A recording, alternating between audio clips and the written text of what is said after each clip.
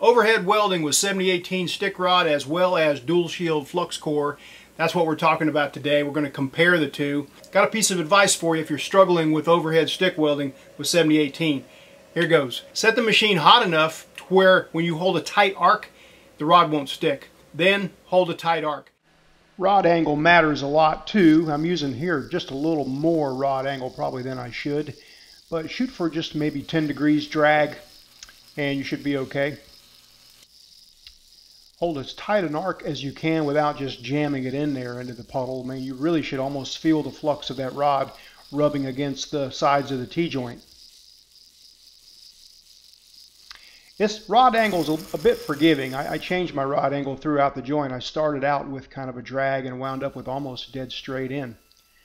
You can see here I'm, it changes as I go a little bit. I'm just getting some practice here. I'm a little rusty. Definitely need some practice. I'm running a three pass. I didn't get any arc shots of the second two.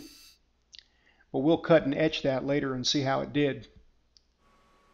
Now for the dual shield flux core.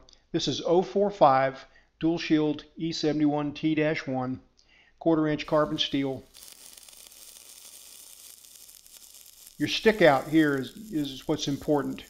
And generally, I guess somewhere around 5 eighths to 3 quarters of an inch stick out. It varies with different brands of different wire, but experiment a little bit and you'll find the sweet spot. I'm using a very slight drag motion here. And you can do a slight push, a slight drag, a dead straight in. I, I think that really as long as you don't get carried away with gun angle, you'll be okay.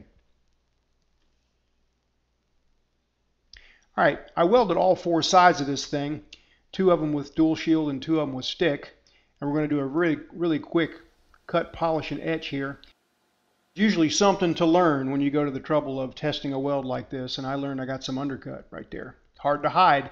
Now that's on one of the stick welds right there. The, the dual shield look a whole lot better.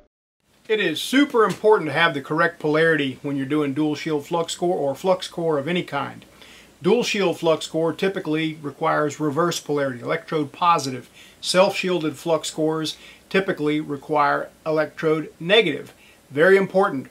Uh, the self-shielded kind will run like really horribly if, if you don't have the right polarity.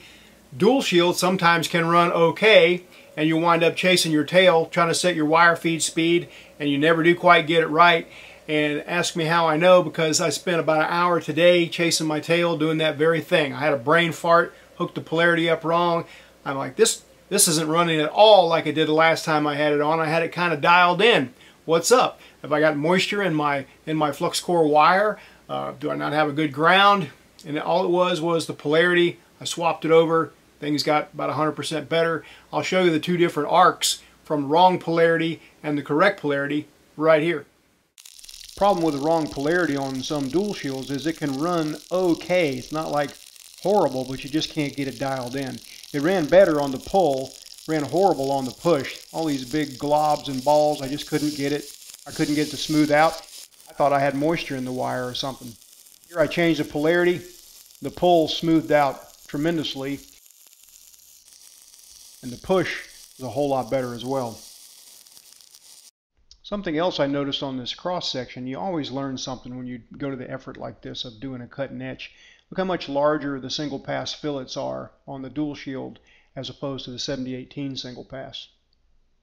Almost as big as the three pass weld.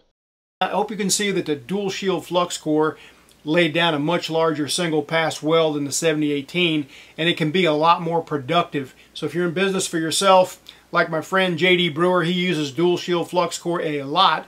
When he's doing hundreds of inches of you know stair tread or something like that, it makes a big difference in getting done. All right, see you next time.